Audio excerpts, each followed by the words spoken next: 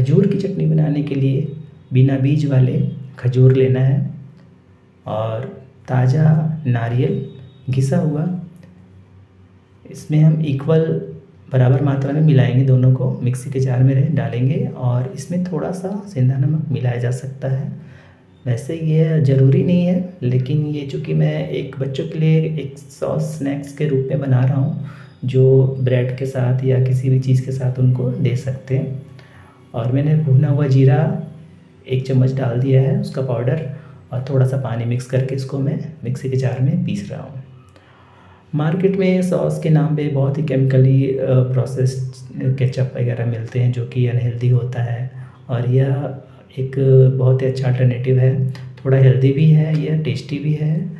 जो नारियल जो है हमारा एक नेचुरल एक क्रीमी टेक्सचर दे रहा है इसके अंदर और नेचुरल स्वीटनर के रूप में मैंने डेट्स यूज़ कर रहा हूँ। आप बीच बीच में थोड़ा पानी मिला के इसको देख सकते हैं और अच्छे से पीस लीजिए इसको फाइनली और फिर यह हमारा रेडी हो जाएगा।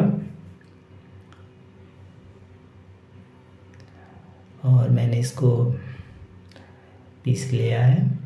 अब मैं इसको आज मैंने एक्चुअली मुझे बनाना था इसका सॉस का ही वीडियो लेकिन मैंने भुट्टे का जो एक बॉयल करके मैं इसके साथ सर्व करूँगा, उसकी वीडियो नहीं बनाई है बट वो बहुत सिंपल है। आप कॉर्न को स्टीमर में या हल्का पानी में स्टीम करके उसको बॉईल करके इसके साथ सर्व कर सकते हैं, क्योंकि मैं उसको रोस्ट नहीं करता हूँ, और मैंने उसके साथ ही इसको सर्व किया है। तो ये रेडी है हमारा।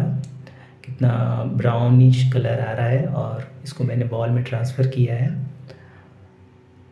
तो ये लगभग हमारा रेडी हो गया है और मैं इसमें एक चीज़ और इंग्रेडिएंट ऐड करने वाला हूँ, जो इसको थोड़ा इसके टेस्ट को और ही टेस्टफुल बना देगा। और कुछ बूंदें मैंने लेमन की, नींबू की डाली है और एक दो तो चुटकी मैं काली मिर्च डाल रहा हूँ, बहुत ही लिटिल बिट ये भी ऑप्शनल है।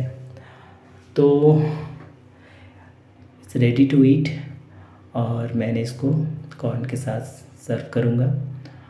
और आपका बहुत बहुत धन्यवाद। थैंक्स फॉर वॉचिंग और मिलूँगा मैं किसी नेक्स्ट वीडियो में किसी और इंटरेस्टिंग नेचुरल रेसिपी के साथ। तब तक के लिए बहुत बहुत आपका धन्यवाद। नमस्कार। देखते रहिए speaking nature thank you so much